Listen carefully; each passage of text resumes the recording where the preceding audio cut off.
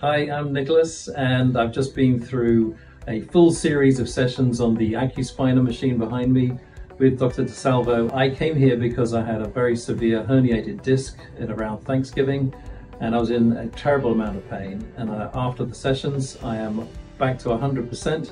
I'm strong, I'm flexible, I've got a full range of movement, and I'm very happy.